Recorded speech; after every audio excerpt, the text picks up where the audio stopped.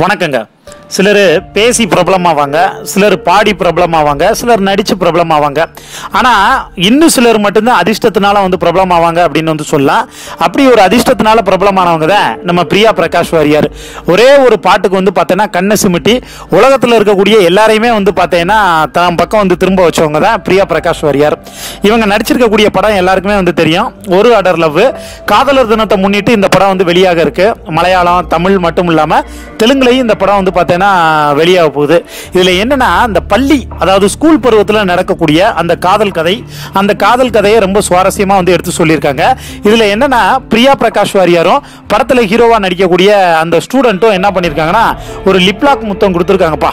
இந்த சீனு ஸ்னீக் பீக்கில் வந்து பார்த்தீங்கன்னா ரிலீஸ் ஆகிருக்கு இதை பார்த்துட்டு பயங்கர எல்லாருமே வந்து இதுக்கு வந்து கமெண்ட்டு அதே மாதிரி ஷேரிங்கு எல்லாம் ஆகி இந்த வீடியோ வந்து இப்போ வைரல் ஆகிட்டு இருக்காங்க.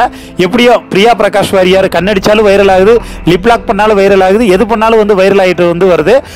ஒமர் லூலு இயக்கியுள்ள இந்த படத்தை தமிழில் வந்து பார்த்தீங்கன்னா கலைப்புலி எஸ் தானோ வெளியிடுகிறாருங்கிறது குறிப்பிடத்தக்கது.